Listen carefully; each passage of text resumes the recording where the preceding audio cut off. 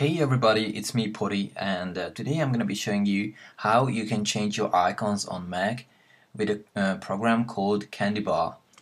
This is a really easy to use program and uh, I'm not sure if it's if it works on any other platforms for example PCs on Linux or anything like that. So it might only work on Mac. But yeah it's really easy to use and now I'm gonna show you how to download it um, you're just gonna go to that link here and I'm gonna put that link in the description so you just easily click on it and that's it. You're just gonna scroll down uh, for that one. You're just gonna click on this and it's just gonna come up with the download window and um, you can save it and then install it and once you have that you're just gonna click on um, the program icon. So you're just gonna open it up and yeah Candy Bar is just gonna come up with all your applications you have on your Mac. And uh, at the bottom you're just gonna get all your custom icons you have. So the only thing you gotta do is just drag your custom icons on your default icons. So it's easy right? For example if I have um, Firefox here and I want to change it to another Firefox icon that I have here. You see? You're just gonna click on that. You're just gonna drag it over here and it changes up. Alright once you did that you're just gonna go to apply icons. And you're gonna type in your password. And click on relaunch dock otherwise it's not gonna work as you can see it's changed. Even though I, like um, I prefer this one so I'm just gonna change it back if you don't mind. Uh, I'm sorry that one. So yeah just gonna go to apply icons. You're not gonna have to enter your password again but you gotta relaunch your dock and that's it. It works. Perfect. So yeah but you can also change your system icons here. For example, Finder, Dashboard, Trash, Home, everything is cool.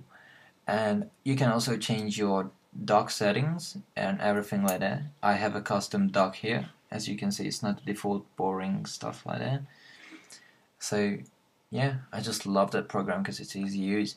And if you have the demo version, because uh, um, this one, this download gives you the the demo version, I guess. You're just gonna go up here to purchase, and uh, ju you're just gonna go to unlock, and uh, you have to enter this serial number here, and that's it. It works perfectly. I have the full version of it, so yeah, that's about it.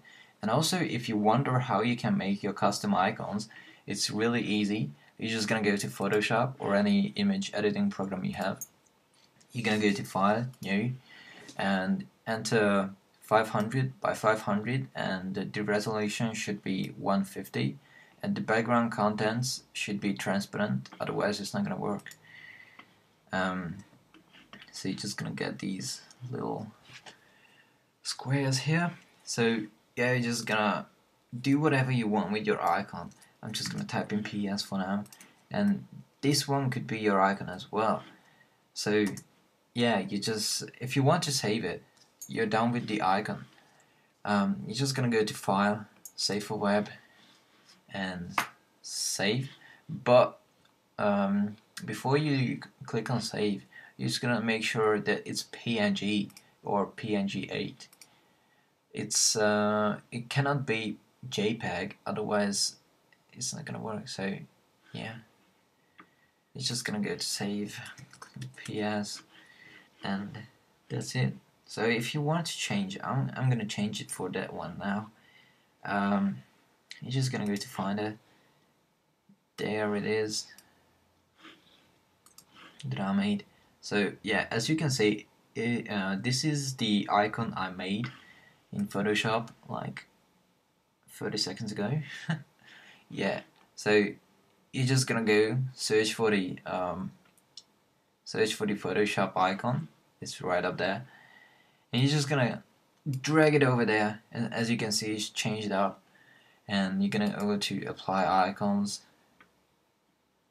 Relaunch the dock there we go. It works even though it looks really ugly it works. And that's about it, it it's easy right? So yeah if you have any questions or difficulties uh, or even suggestions for new tutorials just leave comments in the video and like favorite or subscribe or whatever you want. And yeah that's about it. And also stay tuned for a new video uh, coming up in a few days. Uh, yeah I guess that's pretty much it and see you guys later